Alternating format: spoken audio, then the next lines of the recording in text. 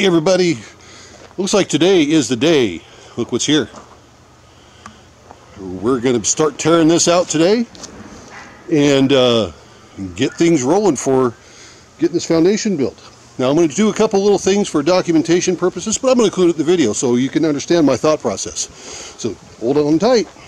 Okay, this tape measure is the proximate back boundary line for the shot. Give or take an inch or two. But here's something that's key. From the other side of that post up to here is 35 one and a half inches. So roughly 35 feet and change. That is to be the corner of the shop. It'll be interesting to come back when this is done to make sure that's going to be the same. And then this down here is exactly 30 feet from up there. So we will run a tape on everything before they pour concrete and go from there. So we'll see how this contractor and I, this, this foundation and I, uh, get along with each other. He's rough around the edges, and so am I.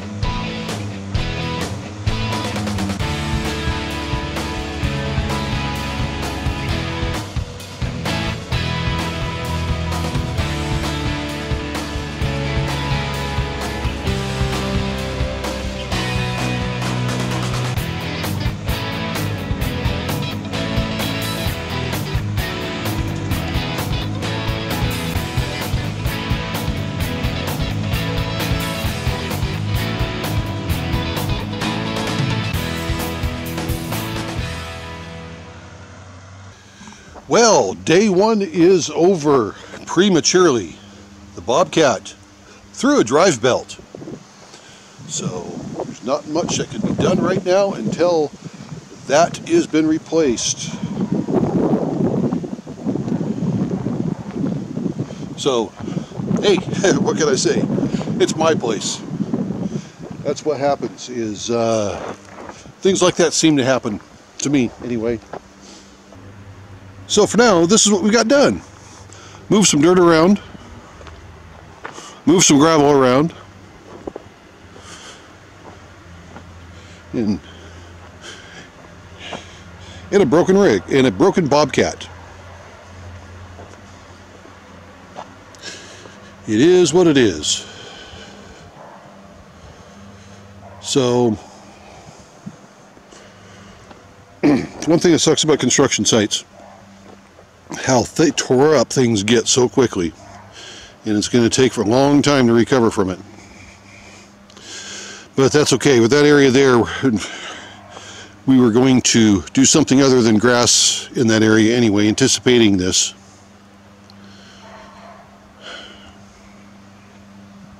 So we'll see. The place looks looks horrible. I am really hoping that we can get to look better.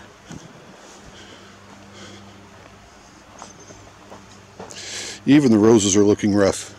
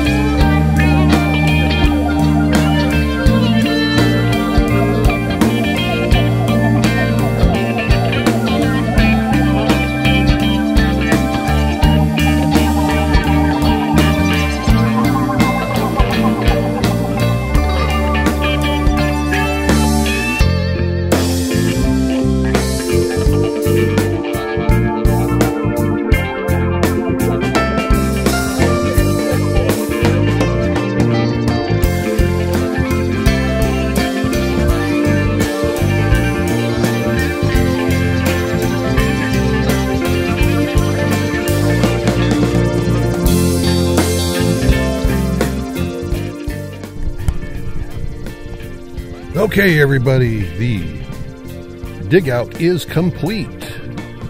Gravel is now laid, nice and smooth. The next step is framing up the stem walls for the foundation. So there was a lot of dirt moved out of here. I have two piles. Each one of them is about 15 yards each. One's going to be for the new yard where the old garage comes out, and the other one is for the garden area. A lot of good, a lot of good dirt. So, there you go. The dig out's done. Just remember, everyone's life is an adventure. Then there's mine, watching people play in the dirt. This is the Adventures of Jaws Jr. Have a good one, everybody. See ya.